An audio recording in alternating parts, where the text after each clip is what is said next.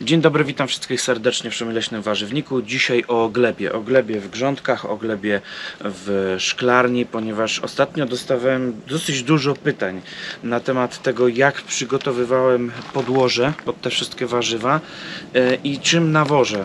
E, Przede wszystkim pomidory, ale o różne inne warzywa też, e, też pytacie. Dosyć dużo tych pytań, dlatego dzisiaj chciałem przypomnieć coś, co już relacjonowałem kiedyś, tylko z pewnymi takimi, wiecie, zastrzeżeniami. Raz, że tak, ja tutaj trochę przenawoziłem to wszystko, dlatego że ja mam glebę e, rodzimą e, piątej klasy, piaski. To jest naprawdę no, kiepska gleba, mało zasobna w składniki pokarmowe, przepuszczająca bardzo wodę, więc jak się e, doczłapałem wreszcie do lepszych materiałów, które zamawiałem tutaj takimi, można powiedzieć, ciężarówkami większymi, mniejszymi, no to napakowałem tutaj niektórych rzeczy aż za dużo. Dlatego ja nie staram się nie podawać wam różnych proporcji, jak to niektórzy wiecie, wyliczą i powiedzą, że tyle i tyle trzeba dodać tego i tego, ponieważ u mnie też ja sobie zdaję sprawę, że to są głównie materiały organiczne, które są różne. Na przykład używałem y, podłoża popieczarkowego, który jest, mm, które to podłoże może być bardzo różne i inaczej będzie się zachowywało z jednej pieczarkarni, inaczej z drugiej, e, inaczej przekompostowane. A jeszcze inaczej takie świeże, dlatego staram się tylko Wam mówić mniej więcej jakich materiałów używam. Też z zastrzeżeniem, że może ktoś ma dostęp do lepszego materiału, na przykład obornik koński, jaki do mnie przyjechał, tak naprawdę dokładnie nie wiem, czy tam wszystkie e, konie były zdrowo żywione, nie były jakoś tam e, faszerowane antybiotykami i tak dalej.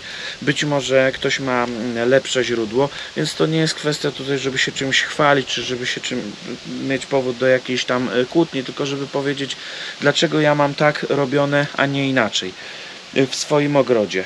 E, Moi drodzy, to wszystko było zrobione w zeszłym roku.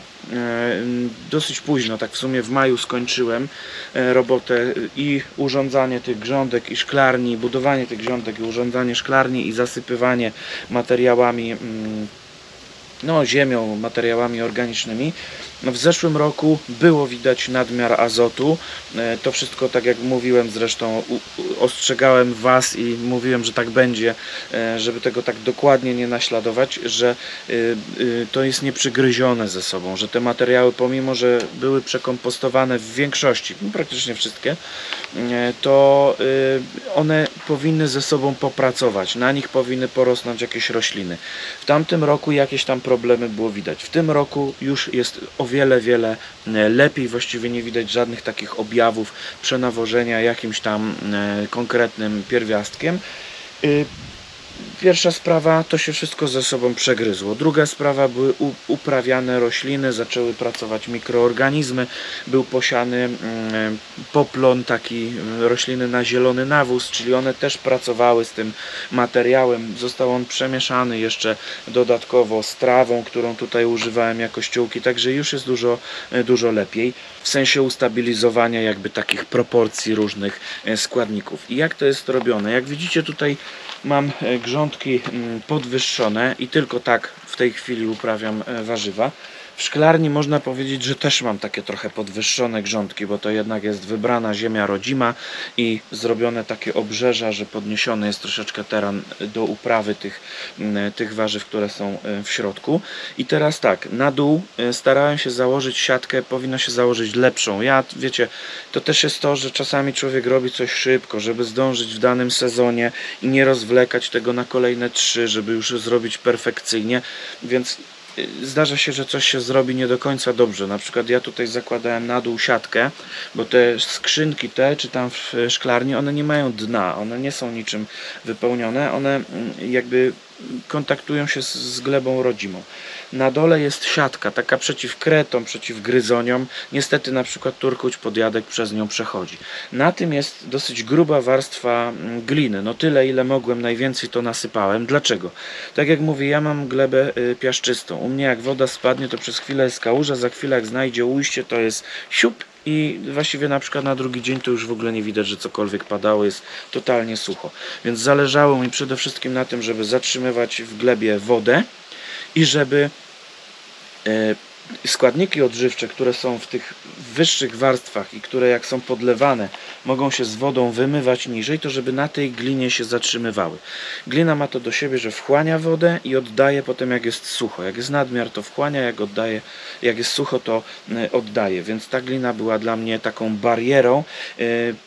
Jakby korzenie przez nią przejdą w razie czego, skontaktują się z glebą, jest, mo, może dojść do jakichś powiązań grzybowych, do pracy mikroorganizmów, nie ma szczelnej bariery, ale, no, czy nadmiar wody to przeleci, ale jest taką barierą, żeby trochę tej wody zatrzymać i tych składników odżywczych e, również. U mnie e, w każdej z tych grządek, ona nie jest tak, że tu jest na przykład piachem zasypana, a dopiero tu się zaczyna żyźni. To jest od samego początku, ponieważ miałem w zamyśle, że mm, może będę je rozkładał, później na przykład taki jeden mm, moduł sobie przełożę jako osobną grządkę, zostanie mi tu niżej, no to żeby tu nie miał piachu, tylko żyzną ziemię, no to mm, całą grządkę tak wypełniłem żyznymi materiałami. No ale na razie nie rozkładałem, więc jest tak jest.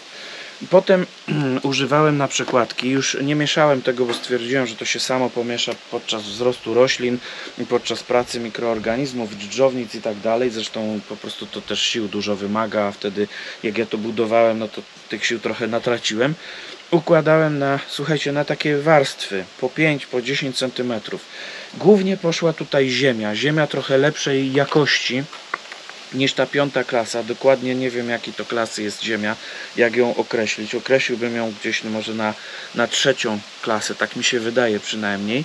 Troszeczkę taka zasobniejsza w składniki odżywcze, ale przede wszystkim taka treściwsza, że więcej wody w sobie e, trzyma. To większość to była tutaj zasypywana było, było ziemią. Najwięcej jakby ciężaru tutaj to, to poszło ziemi, e, ale poszły też obornik e, koński, obornik bydlęcy, e, poszedł własnej roboty kompost i poszło to podłoże popieczarkowe, czyli też e, taki, taka mieszanina obornika kurzego, końskiego, troci, siana, słomy, no, różnie, zależy kto robił ten podkład pieczarkowy, a powstał popieczarkowy później. E, Tak jak mówię, ja trochę za dużo tych materiałów nawozowych tutaj e, rzuciłem. To też nie jest dobre, żeby przenawozić.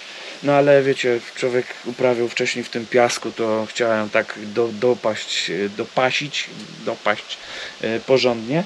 Mm, W każdym razie na przekładki, na przykład obornik koński, ziemia kompost, ziemia, yy, podłoże popieczarkowe, ziemia i tak dalej. Najwięcej tej ziemi, trochę też, ale to bardzo malutko ziemi rodzimej, tej piaszczystej tutaj poszło, zwłaszcza z kompostem. Po prostu w kompoście ona też się dostaje, jak tutaj, nie wiem, wyciągnę takiego pora, te liście, korzenie, coś tam chcę powyrzucać, takie tam gorsze rzeczy, no to z tym piaskiem też wpada, tak? Więc tutaj jak chwasty jakieś e, wyrzucałem, no to też tam e, to wpadło.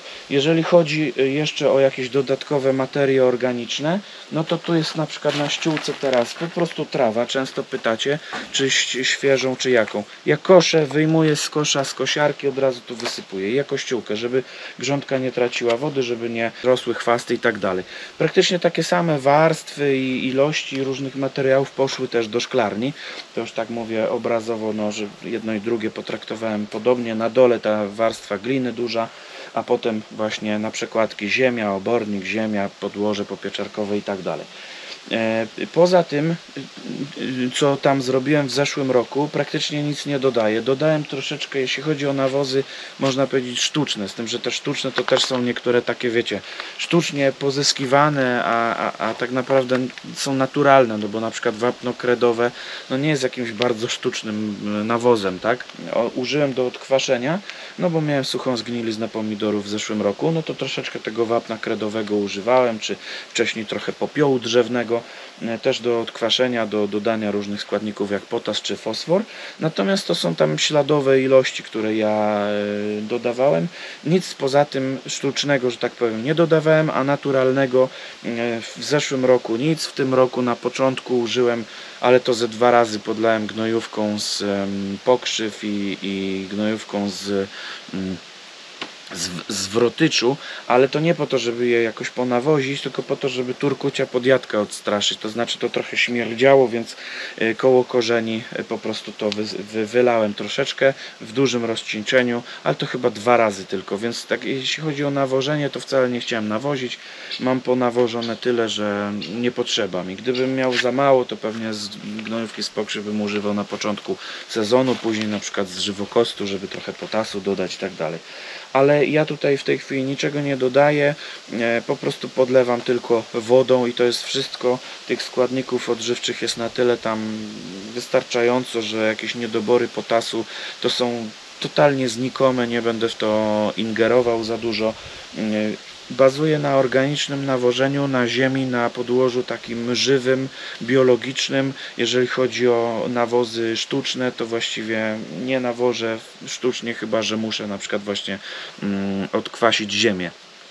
Ale to tylko tym e, kontekście. Nie dodaję żadnych specyfików ze sklepów, nie musiałem takich rzeczy robić. Jeżeli chodzi o dodatkowe nawożenia teraz, na przykład na jesień, też nie będę niczego robił, nie będę niczego dodawał, żadnych oborników, niczego, kompostu nawet nie będę tu wysypywał prawdopodobnie, chyba że mi trochę zabraknie ziemi, ale tak to to nic poza tym kompostem ewentualnie. Ja mam taki kompost taki średniej jakości, tam tak się bardzo nie starałem ostatnio o niego, więc też nie będzie jakiś super odżywczy, raczej po to, żeby wypełnić tutaj te skrzynki. No i nawóz zielony na jesień, chociaż ja mam problem z nawozem zielonym, bo ja bardzo długo staram się różne rośliny uprawiać i w momencie, kiedy już nie można właściwie ich uprawiać, a mógłbym wysiać zielony nawóz, no to na ten zielony nawóz, rośliny na zielony nawóz, to też już trochę na nie jest za późno. One już też tak nie chcą rosnąć. Gdybym teraz tutaj pozbierał plony, wysiał zielony nawóz, to do przyjścia chłodów, przymrozków bym miał piękny rośliny na zielony nawóz, czyli rośliny, które na przykład dodają nam właśnie azotu do, do gleby, wiążą się tam z różnymi bakteriami glebowymi, e, albo oczyszczają glebę powiedzmy z niektórych organizmów. Natomiast u mnie właśnie jest trochę problem. Ja staram się wysiewać już w zeszłym roku tutaj różne testowałem. W tym roku też będę oczywiście wysiewał, ale y, liczę się z tym, że znowu udają, udadzą mi się kiepsko te nawozy, bo będę je wysiewał późno. No i potem te nawozy ścinam, zostają sobie tutaj na ściółce albo mieszam je troszeczkę z glebą i to jest wszystko.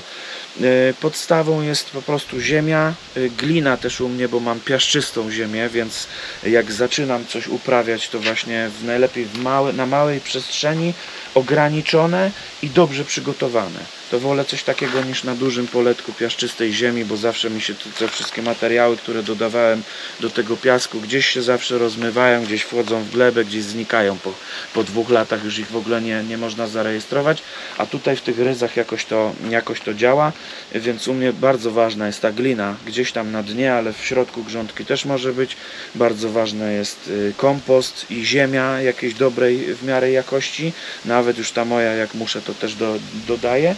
No i naturalne rzeczy typu obornik różnego rodzaju, ja się nie zafiksowuję na jeden, tylko taki do jakiego mam dostęp, to, to staram się brać dla zróżnicowania. Brałem już koński, owczy, kozi, bydlęcy, różne, e, żeby, żeby po prostu no każdy jest trochę inny, nie? Każdy trochę inaczej działa, uzupełnia nam właśnie te glebę w różne składniki odżywcze.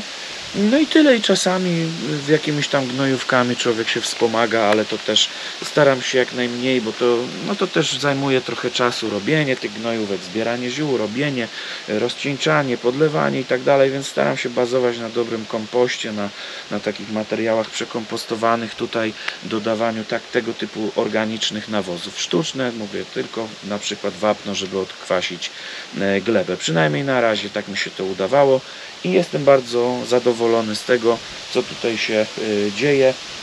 Y, Rośliny rosną zdrowe, duże, zielone, ładne i tyle. Jakbym coś tam pominął, jakby były jeszcze jakieś pytania, dajcie znać w komentarzu, czy jakieś porady. Yy, Pytacie czasami o mączki bazaltowe, o inne rzeczy. No po prostu ja nie używam, bo nie widziałem na razie takiej potrzeby, ale dlaczego nie? No jak ktoś ma inne warunki i potrzebuje danego nawozu, czemu go nie użyć? Po to one są. Yy, Natomiast no ja nie używałem, bo nie, nie, miałem, nie miałem takiej potrzeby, tak? Ale jakby coś można jeszcze w komentarzu o tym pogadać. Dziękuję bardzo za uwagę. Do zobaczyska. Pa.